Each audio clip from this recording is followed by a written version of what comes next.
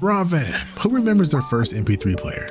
Mine was an iPod Touch and RomFam, if you're anything like me, music has always been a huge escape for you. So when Apple announced that they're discontinuing the iPods, I just had to pick up this baby right here. This isn't a sponsored video, I just find it really cool to see all the components that held together this little device that in turn helped me navigate through this thing called life.